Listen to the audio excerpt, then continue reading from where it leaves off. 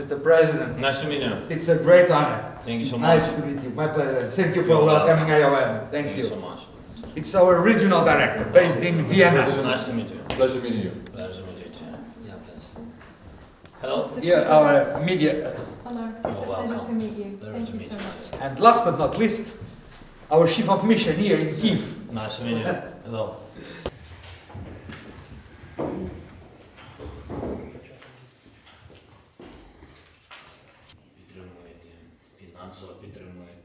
Громадян України.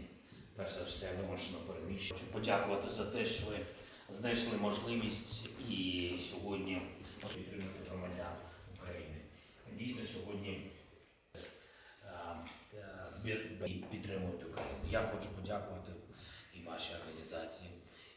Вони а, потужні були через окупацію деяких наших територій, тимчасову окупацію.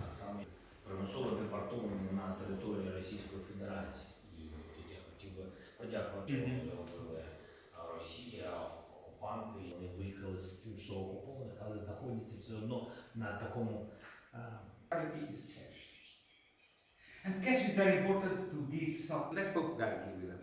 So your picture is very familiar to us. And we are here to say that uh, Preparing for the winter with the reparations of houses, Of uh, collective centers, but also for livelihoods, but also for re- recovery of the houses, for food, Шановний пане директоре, шановні присутні, перш за все хочу подякувати за те, що ви знайшли можливість і сьогодні особисто зі своїми колегами з командою присутні в Києві.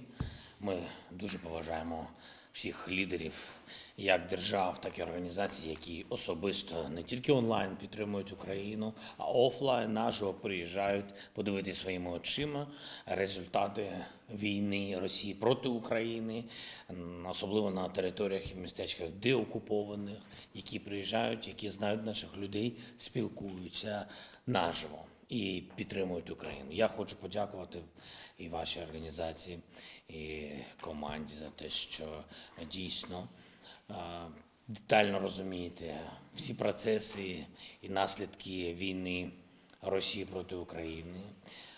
І підтримуєте не словами, а конкретними кроками.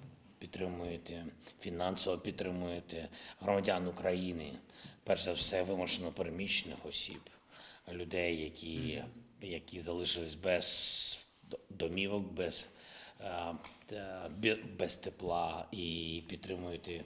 Я вам вдячний за те, що підтримуєте їх як всередині нашої держави, які втратили домівку через окупацію деяких наших територій, тимчасову окупацію, так само як підтримуєте і вимушено переміщених осіб, біженців, які знаходяться тимчасово за кордонами нашої держави. Е, Ми вдячні. Ми би хотіли на вас просити, щоб ви продовжували свою місію і продовжували підтримати громадян України. Дійсно, сьогодні бюджету нашої держави складно, непросто, бо все, що ми заробляємо, ми все передаємо на фронт, передаємо нашим збройним силам. Для нас важливо, щоб вони. Потужні, були мотивовані, були заробітними платами, були, було, е, були, був у них характер, який вони постійно демонструють з першого дня війни, щоб деокупувати наші е, території. Ну, так само я б хотів би звернути вашу увагу і на той момент, що е, ніхто сьогодні не може. е, сказати конкретні цифри щодо депортації з примушеної примусової депортації наших громадян і наших е, дітей, жінок, дітей, які були примусово депортовані на території Російської Федерації. І тут я хотів би подякувати, що ви займаєтесь цим питанням, але тим не менш, ми б дуже хотіли, щоб у вас було більше доступу, доступ особливо на тій території, де є фільтраційні табори, те, що зробили Росія, окупанти, і також робили сепаратісти з громадянами нашої держави. Ми хотіли би від вас підтримки і допомоги в цьому напрямку.